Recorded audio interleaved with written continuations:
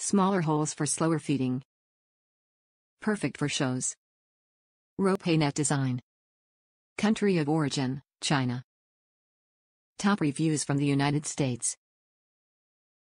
So far I love it. I have only been using it about a week but I love it. It seems to be tough as others have stated and my mare is definitely slowed down in her insatiable appetite. I use the lid of a large plastic tote to get the hay in easier, open the net rope on the ground, slide the tote lid in, which holds the net open, slide the hay in on top of the tote lid then remove the lid. Boom. Very easy and no more cursing as I try to jam two flakes of hay into the net. Then tie the top and hang. Perfect. I just ordered a second on in another color so I can have one filled and ready all the time.